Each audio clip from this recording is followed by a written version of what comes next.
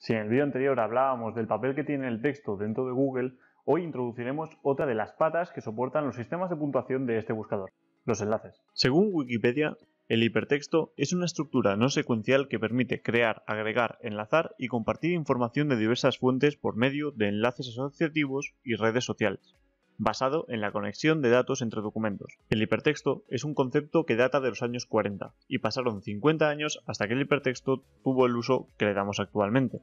En 1991, Tim Berners-Lee utilizó este concepto para crear los hoy tan conocidos HTML y HTTP, Ambos dos fueron creados con la finalidad de facilitar el uso de la creciente Internet, creando sistemas de cliente-servidor que facilitasen al usuario navegar por ellos. Es en este momento en el que el equipo de Tim Berners-Lee introduce una nueva etiqueta destinada a ejecutar este proceso de navegación, la etiqueta Anchor. Esta etiqueta, en HTML1, estaba formada únicamente por un parámetro name, que a día de hoy está obsoleto, el tan necesario href o hypertext reference y un anchor text que explicaba que nos íbamos a encontrar en la página a la que hacía referencia. Ahora avancemos un poco en el tiempo, a 1999. Ya explicamos en vídeos anteriores que el principal objetivo de Google desde que nació era el de mejorar los resultados de búsqueda ante el creciente Internet.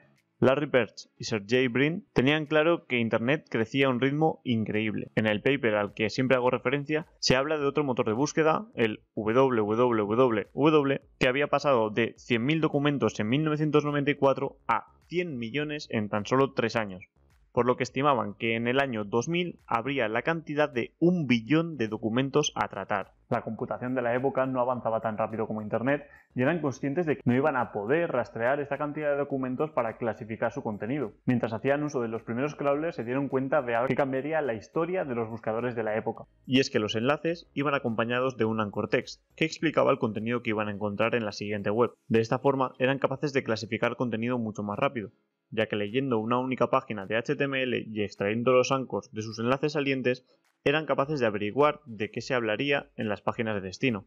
Esto agilizó mucho el proceso, ya que si por ejemplo una URL tenía 15 enlaces salientes con 15 ancos diferentes, eran capaces de clasificar los 15 siguientes documentos a partir de un único crawleo. Imaginemos esto el avance que supone en cuanto a computación. Y es aquí donde aparece el siguiente factor clave de este proto Google, el PageRank. El PageRank creado por Larry Page es un cálculo matemático que estima la calidad de una URL basada en la cantidad de enlaces entrantes y salientes de esta, y muchísimas otras cosas que veremos en una serie próxima de vídeos. Y con este algoritmo consiguieron ordenar los resultados de búsqueda que clasificaban de una forma más rápida, mejorando así la calidad de los resultados de búsqueda. A día de hoy existe mucha controversia sobre el tema, cuando hablamos de PageRank solemos generalizar con el PageRank externo, pero no debemos olvidarnos que toda web tiene un PageRank interno que estima que URLs son más relevantes dentro de un sitio web. Incluso se habla de que el PageRank externo ya está obsoleto desde hace un tiempo y que Google aplica una nueva métrica llamada TrustRank basada en distancia entre nodos, algo parecido a lo que comentamos en el vídeo anterior sobre distancia entre palabras clave. Sobre el TrustRank os dejo un enlace en el artículo que acompaña este vídeo, que podéis entrar desde victormeya.com barra 3. En él, Juan González analiza muy detalladamente todo sobre esta nueva métrica.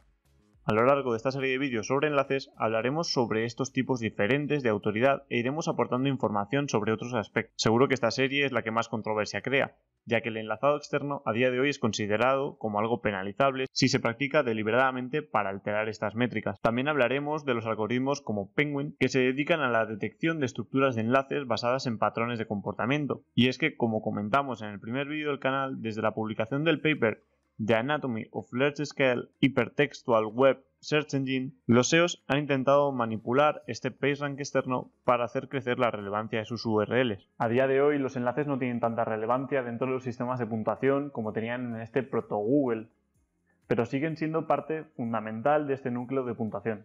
Gracias a este paper podemos hacer idea de lo importantes que eran los enlaces al principio, con un ejemplo que muestran en este documento. En este gráfico hablan sobre la consulta Bill Clinton, presidente de Estados Unidos de la época, y sobre cómo el algoritmo había llegado a la conclusión de que la URL whitehouse.gov era la que tenía que rankear por esta palabra clave sin siquiera haber analizado el contenido de dentro de esta URL, simplemente basándose en la calidad y la cantidad de enlaces y los anchors que recibía esta URL. Es curioso ver cómo en este proto Google las URLs ni siquiera estaban clusterizadas por dominios y cada una tenía un comportamiento y puntuación individual.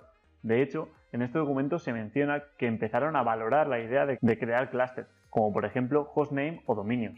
Esta clusterización es la que más adelante generaría algo que me encanta y es el enlazado interno, que es la parte del SEO en la que acumulamos autoridad interna generando así un micro ranking de URLs basado en prioridades de posicionamiento.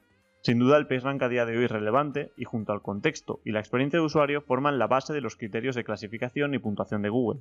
Este es el primer vídeo de la serie sobre enlaces en Google y me gustaría que os quedaseis con la idea de la generación de autoridad a partir del PageRank y la facilidad de clasificación a partir del Anchor Text. Así que nada, muchas gracias por haber llegado hasta aquí. Terminamos este vídeo introductorio sobre enlaces y sentando bases de todo lo que irá después. Y quería agradecerte el haberte suscrito al canal, si es que lo estás, porque ya somos más de 100, que la verdad es que me parece un logro. Y te agradecería que siguieses compartiendo los vídeos en redes sociales para ayudarme a seguir llegando a más gente.